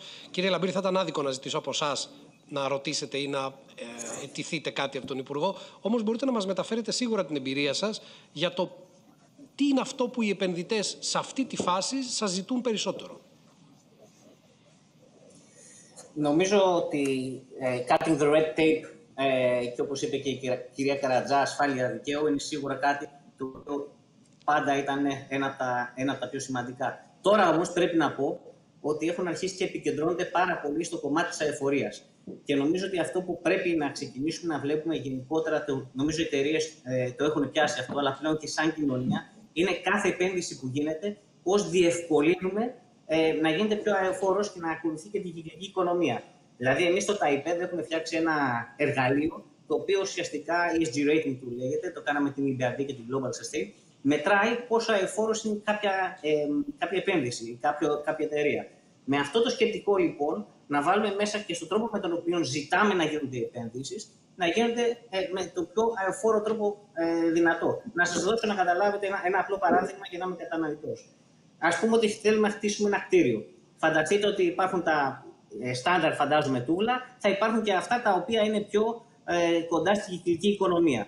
Οπότε θα μπορούσαμε να βάλουμε στους διαγωνισμούς γενικότερα, και δεν λέω μόνο για τα ΙΠΕΘ, ε, προδιαγραφές οι οποίες κινούνται προς αυτή την κατεύθυνση. Διότι δεν σας κρύβω ότι το μέλλον είναι μόνο ε, βιώσιμο άμα έχουμε τα κομμάτια της αεφορία και της κοινωνία. Οπότε για μένα αυτό είναι πάρα πολύ σημαντικό και το βλέπω από τους επενδυτές, πάρα πολλοί από τους επενδυτές τους ξένους, αλλά νομίζω και οι ελληνικές εταιρείες έχουν αρχίσει ε, και το καταλαβαίνουν και κάνουν κινήσεις προς ε, αυτή την κατεύθυνση. Σας ευχαριστώ πολύ. Θέλω να δώσω και σε εσάς, Υπουργέ, το χρόνο μέχρι να τελειώσουμε, να κάνετε μια σύνοψη όσων ακούσατε και να ολοκληρώσουμε με αυτό. Καταρχάς, θα διαπιστώσετε μια αδυναμία των παραδρισκομένων να μου καταθέσουν ερωτήσεις. Κυρίως με βρίσκουν όποτε θέλουν και μου κάνουν ερωτήσεις κατευθείαν άμεσα και λύνουμε τα προβλήματα όσο γρηγορότερα γίνεται. Αλλά θέλω να συμφωνήσω με τον κύριο Αχηλεούδη. Το κράτος που ονειρευόμαστε να φτιάξουμε δεν θα χρειάζεται καθόλου τη δική μου παρουσία οποιοδήποτε κυβερνητικού τελέχου. Θα δουλεύει αυτόματα ως ένα οργανωμένο σύνολο. Μέχρι να φτάσουμε σε αυτό το σημείο όμως, καλό είναι οι επενδυτές να γνωρίζουν ότι αν έχουν οποιοδήποτε πρόβλημα θα βρουν πρόθυμους ανθρώπους να τους λύσουν γρήγορα το πρόβλημα με διαφάνεια και με αποτελεσματικότητα στο μέτρο του εφικτού. Το ξαναλέω, το μήνυμα είναι σεβόμαστε και τα χρήματα και το χρόνο των άλλων ανθρώπων. Και δεν θέλουμε να τους κάνουμε να χάνουν χρόνο και χρήμα χωρίς λόγο. Προτιμούμε το σπαταλούν δημιουργικά για να κάνουν ωραία έργα στην πατρίδα μας. Τώρα, όσον αφορά την κουβέντα περί των ε, επιχειρήσεων και του μεγέθους, κοιτάξτε κύριε Πρόεδρε, κύριε Μαραγκή, τι συμβαίνει.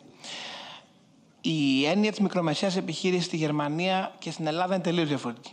Η μικρομεσαία επιχείρηση στη Γερμανία είναι έως 50 εργαζόμενοι και έως, ε, ε, συγνώμη, έως 250 εργαζόμενοι και έως 50 εκατομμύρια τζίρος. Αυτή είναι μια μικρομεσαία επιχείρηση στη Γερμανία. Στην Ελλάδα αυτή είναι μια πολύ μεγάλη επιχείρηση.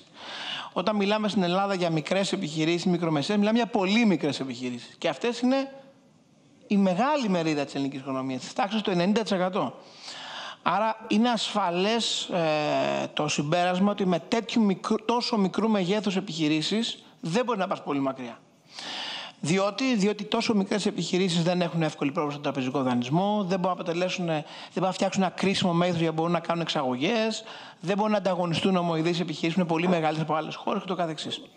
Στο Ταμείο Ανάκαμψης έχουμε βάλει πράγματι ένα μεγάλο ποσό για να εξασφαλίσουμε κίνητρα για τη συγχώνευση αυτών των επιχειρήσεων, γιατί είναι κρίσιμο για την ελληνική οικονομία οι πολύ μικρές ελληνικές επιχειρήσεις να μεταβληθούν, να μεταμορφωθούν σε μικρομεσαίες τύπου Γερμανίας, να αποκτήσουν δηλαδή όγκο που θα επιτρέψει και τις εξαγορές και τις επενδύσεις από άλλες χώρες και την έξοδό τους στις διεθνείς αγορές. Και να πω και ένα τελευταίο, δεν είναι μόνο το Ταμείο Ανάκαμψη μόλις ανέφερα.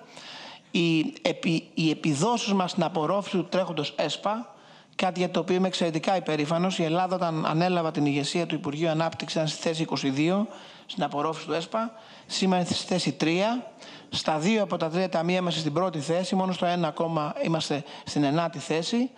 Ε, και η ταχύτητά μας είναι η μεγαλύτερη από οποιασδήποτε άλλη ευρωπαϊκής χώρας αυτά τα δύο χρόνια. Με αποτέλεσμα στην έκθεση των Standards Poor's η ταχύτητα απορρόφησης των ευρωπαϊκών κονδυλίων του τρέχοντος ΕΣΠΑ να τους προκαλεί την βεβαιότητα ότι θα μπορέσουμε να προχωρήσουμε στην απορρόφηση του Ταμείου Ανάκαμψης και του επόμενου ΕΣΠΑ. Άρα όλα αυτά μαζί μας δίνουν μια μεγάλη ευκαιρία. Λυπάμαι που σας διακόπτω έτσι, αλλά η ροή είναι αμήλικτη και δεν θα ήταν καλό να μας κόψουν στον αέρα. Σας ευχαριστώ όλους πάρα πολύ. Ε, νομίζω ότι ήταν μια παραγωγική συζήτηση. Έχω την αίσθηση ότι όποιος την παρακολούθησε φεύγει λίγο πιο αισιόδοξος, εάν δεν ήταν ήδη προηγουμένως από αυτά που έχει δει. Ευχαριστώ τον Υπουργό, αλλά ευχαριστώ και όλους εσάς. Να έχετε ένα καλό απόγευμα. Ευχαριστώ.